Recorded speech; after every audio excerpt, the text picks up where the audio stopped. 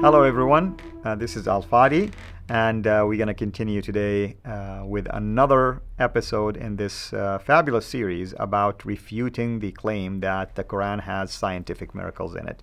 So far, really, we covered a whole uh, bunch of those um, claims, and I'm going to let uh, my guest here, Dr. Jay Smith, who have done an amazing job uh, and partnered with me in taking him one claim at the time. I'm going to let him really summarize everything we've covered so far and then dive into another topic related to this. Jay, welcome aboard, brother. Oh, thank you. Uh, it's kind of fun that we've had this chance to do these episodes, especially since neither of us are scientists. That's right we did it because this was kind of foisted on us by Nadir Ahmed. We can give thanks to Nadir Ahmed who are even creating the need to answer these. A man who has spent his whole last 11 years on this very subject, defines himself by this subject. This is his signature piece, and could not even defend one of these when we brought them up on the night. Turned the debate into attacking the mustard seed and uh, the virginity uh, test of Deuteronomy 22. Now, let's let's do a review of what we've looked at. Uh, we have looked at a number of scientific problems. We've looked at whether or not in chapter 31, verse 10, uh, that God has put earths on the, uh, the, mountains on the earth to keep them from shaking uh, which is very clear in chapter 31:10, and we saw that this had this was pre-scientific. Uh, we now know very well that tectonic plates and volcanic action are the two different sources of thrusting and slippage. Uh, these are done very clearly uh, over hundreds and thousands and thousands of years, but we now know that tectonic plates colliding create wrinkle in the Earth's surface. We know that volcanic action creates Earth uh, in islands, making islands in uh, in the in the oceans, and there everywhere you see volcanoes and everywhere you are on Earth, I'm sorry, on mountains, there is shaking. That's right. Which means if he placed them there to keep them shaking, they're doing a pretty lousy job. And they they split. That's the fault line. I mean, why would they split if they're there to stabilize things? Like the Andreas fault in exactly. California. Yeah. So they are the result of shaking who not only did is that wrong, but also it shows that this is from a very anthropo- anthropomorphic standpoint, from a man made standpoint. This is what man would see, seeing those large objects. We went into other areas. We took looked at the the whole problem with communities, that communities, that all animals and insects are just like humans, and we looked at the spiders and said, no, they're not. That actually is an error. We moved into uh, areas such as where does the semen come from? That it comes between the kidney and the backbone. Says no, it's not in my not in my body, not in your body. Uh, if the, if I were dependent on that, I wouldn't have any sons today. You wouldn't have any children as, well.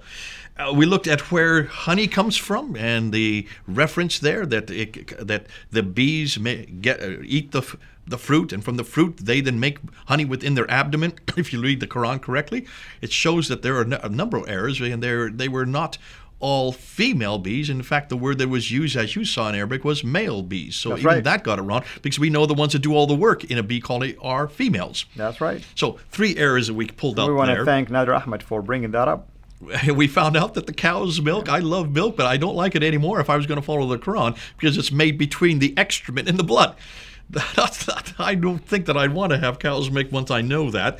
Or that the sun sets in a pond and then we followed that up with the whole thing of the cycles, the moon and the sun cycles. That's right. And, and we looked, we saw chapter 91, verse uh, 1 and 2, uh, chapter 36, verse 40, that actually one follows the other. It's not a cycle that goes out into the solar system, Correct. it's following around the earth, which then helps us to understand why the Quran suggests it sets in a pond and it comes up the other way in chapter 18. And that's why when uh, Dhul-Qarnayn, Alexander the Great went to the east, saw it setting, and saw it coming up near people, people who are near the sun.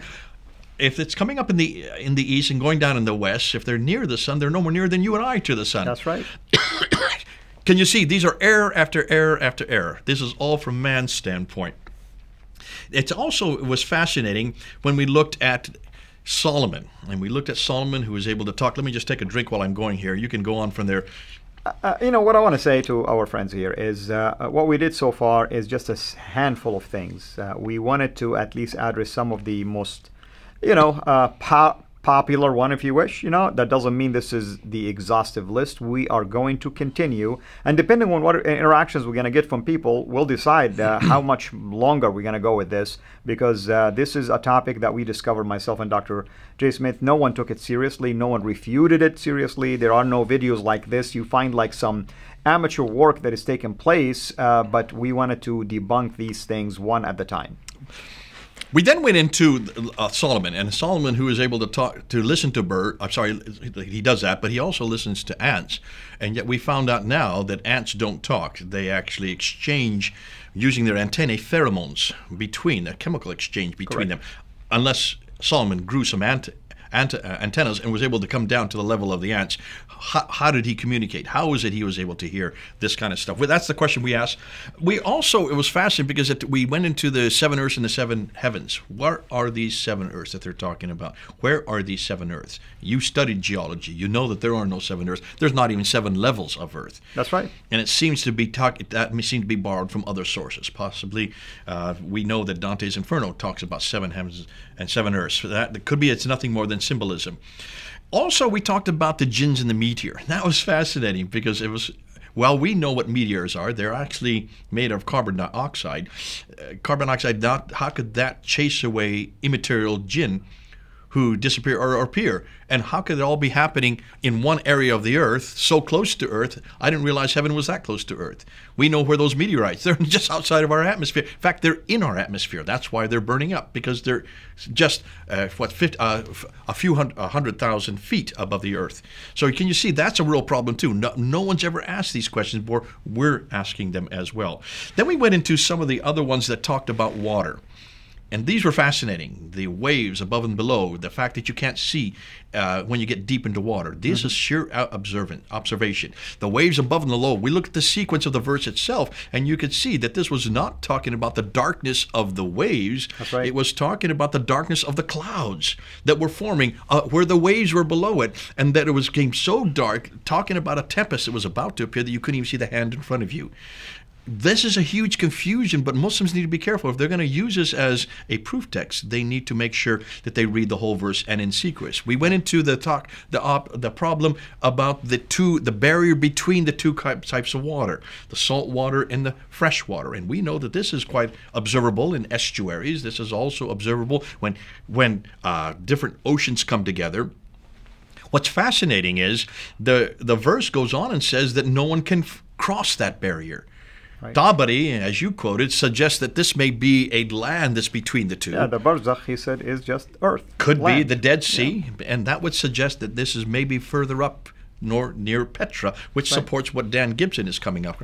But I would say I would say that either whoever wrote that uh, had watched water as it comes out of an estuary after a heavy rain and brings a lot of the silt with it as it comes and, and approaches the ocean, or in the case like the Channel in England, the dark water, which is actually brown because of the silt, approaches the blue water, which is the sea salt water, and it starts to dissipate. In fact, the blue then takes over it. And something about this, by the way, the reason why I mentioned to you that this could be uh, an observation made somewhere in the Levant area in modern day Iraq, you know, for instance, or even the Nile River. Why would the God of Islam use examples among Bedouins who have no rivers in there? They don't have a clue what he's talking about uh, rather than making it in front of people that are watching what's going on. Exactly. Right. And why would he say that no one can cross this barrier? Two problems. If it was a piece of land, do can't you cross a piece of land? Yes, yes you can. From the salt to That's the right. fresh. That's right. You can go from the Dead Sea to the Jordan River or to the Sea of Galilee quite easily. In fact, they're, that's what they do. They travel all the time between these lands. If it's the barrier within the water, Boats do it all the time. If the, if they could cross that barrier, remember those barriers between the salt and the, the fresh water are there 24 hours a day, every day of the year. The only reason we can see the barrier is when there is silt there to, to and we showed the picture of the brown water coming against the blue That's sea. Right. But boats, if they're most of the boats that are fishermen have to go out to sea. They have to go across that barrier all the time, every day. Otherwise, they'd lose their craft. Absolutely. And here's another argument. I mean, let, let's pretend that there is this barrier that stops now the sweet water from entering into the salt water. Naturally, you're going to see rise in the water level after it rains. after the water floods all the time from the mountains. We don't see that because it dissipates to go through. Yeah. I mean, it's a process. Yeah. So air after air after air, and we ended off then. Uh, we, t- we talked about the egg shape, and we saw that they've got the wrong word. They were trying to impose a word, and this is typical of what Muslims do. They hear what's happening in the news, they hear the new discoveries. They say, ah, where can we find this in the Quran? And they went to the spreading of Right. the earth, and they try to change that to the ostrich age. They even got the wrong egg because that's the wrong. That's not what the earth is like.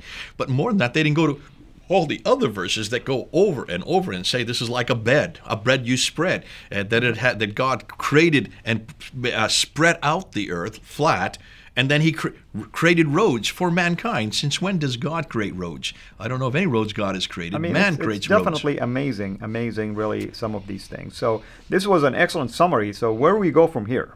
Well, we're going to end this one here because in the next episode, what I want to do is I want to end off with a trick question. And I want to say, let's now ask and see whether the Bible has any miracles or any scientific proof. Let's ask the same thing of the Bible in the next episode. Because I think we're going to be surprised what we find in the Bible. We've Amen. asked that of the Quran. In every case, I should be careful, careful. In almost every case, we have found these to be errors. Though Muslims put them out as scientific proofs, they're not proofs at all. They are nothing more than errors. Understandable errors in many cases. We can understand why they thought mountains were heavy, therefore they keep the earth from shaking. They didn't know anything about tectonic plates. We can see why they thought those meteorites coming across the earth probably were chasing jinn without realizing that those meteorites were in the earth's atmosphere. That's why they even are visible. We can see then why they thought that the barriers between the seas are something that God has created without thinking through. No, that's just obser- observation of what's naturally happening when fresh water comes against salt water, especially after a heavy rain. These are all observable. The moon following the sun, that's observable.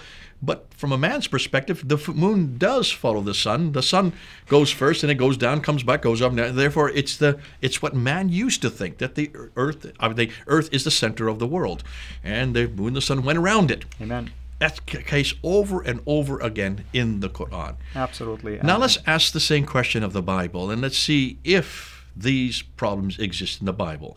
And I would suggest that we might be surprised at what we're going to find. And as uh, you know, my dear brother here mentioned, you know, really a rule of thumb I tell people when it comes to scientific miracles of the Quran, most, if not all, are based on observations, seeing things. That's a human nature. We see things, we process things, we try to come up with explanations. Maybe there is a source that we have access to, we try to report it. We brag a lot sometimes and say, hey, did you know this research said this and this and this and this? I mean, we tend to talk to each other about things like this. We get fascinated by what we hear. And in this case, the author of the Quran got fascinated by it, or the authors, you know, not just one. They began to write, write things like this. And remember, it's shared with people that supposedly have maybe no uh, scientific uh, training, they don't know a whole lot. They were fascinated by what they're hearing. And of course, you know, when you have a book and you have a man, you have to justify the book and the man, and that's what was going on, and taking advantage probably of some level of lack of knowledge or ignorance, if you wish. And uh, we got ourselves a problem that our Muslim friends today are stuck with it because modern science have refuted it even before we touched it ourselves, who are non scientists anyway, myself and Dr. Jay Smith. And you heard from Dr. Jay right now that we are going to take a look at the Bible now because we anticipate an argument uh, to be raised, and therefore we want to just uh, face this argument head on. So, uh, our uh, dear brother, you know, always focuses on the book and the man. Let's see what our man now is going to do, do with this book. Until we meet again, have a blessed day. Thanks for watching. Make sure to like and subscribe. Also, hit the bell so that you don't miss future videos. And please consider becoming a patron at patreon.com forward slash CIRA International. And together we can introduce Muslims to the gospel of Jesus Christ. Thank you.